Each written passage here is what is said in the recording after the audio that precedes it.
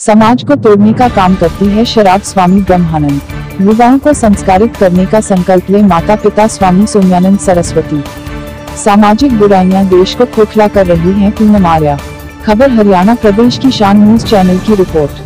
सार्वदेशिक आर्य युवक परिषद व स्वामी इंद्रवेश फाउंडेशन के संयुक्त तत्वावधान में टिटोली स्थित स्वामी इंद्रवेश विद्यापीठ में आयोजित चतुर्वेद पारायण महायज्ञ के आज चौथे दिन आज स्वामी चंद्रवेश, स्वामी ब्रह्मानंद, स्वामी सोमयानंद ने लोगों को संबोधित किया व कन्या भ्रूण हत्या, नशाखोरी, अश्लीलता व धार्मिक अंधविश्वास के विरुद्ध संकल्प करवाया।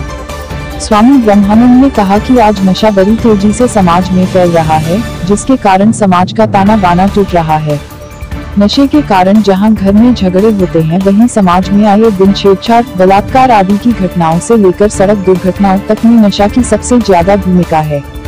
इसलिए देश के हुक्मरानों को नशे को पूर्ण प्रतिबंध करने के लिए आगे आना चाहिए।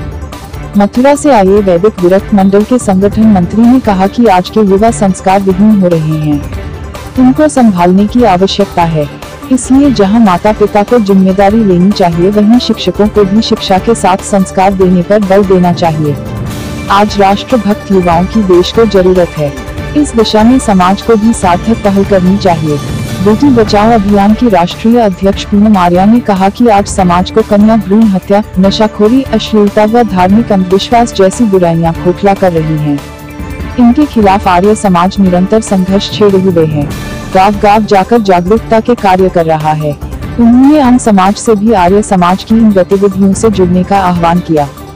कार्यक्रम में मास्टर अजीत सिंह, आर्य, रामेंद्र आर्य व आर्या बहनों ने वैदिक भजन भी सुनाए।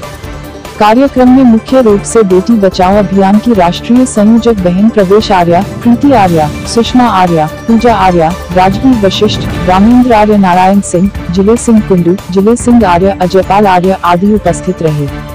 प्रवेश आर्या ने बताया कि 8 मार्च को महिला सम्मेलन व ऋषि दयानंद जन्मोत्सव व तेरह मार्च को स्वामी इंद्रदेश की स्मृति में आर्य सम्मेलन का आयोजन किया जाएगा।